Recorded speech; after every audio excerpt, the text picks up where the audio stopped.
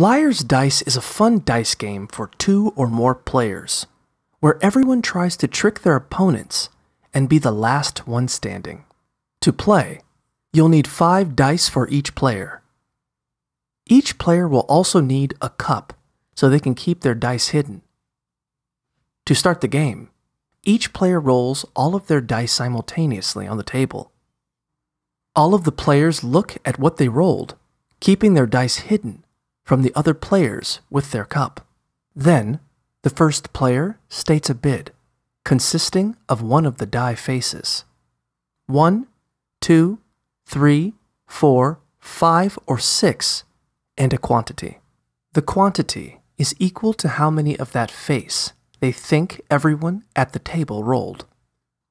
For example, they might bid seven fours.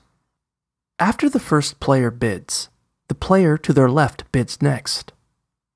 They can bid a higher quantity of the same face or bid the same quantity of a higher face.